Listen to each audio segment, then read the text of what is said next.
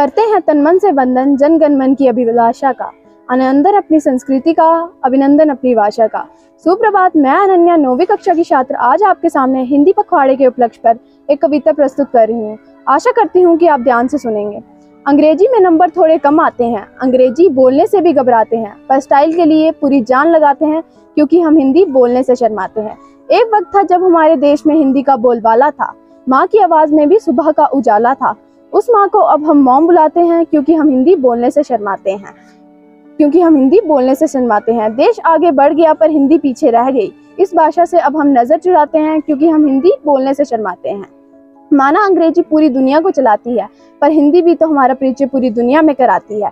चलो आज कुछ लिख लेते हैं जो भारत की शान है। भारतीयों का स्वाभिमान है हिंदी, संस्कृत की संतान है हिंदी। हम हिंदी है, हिंदी का हम सबको अभिमान है।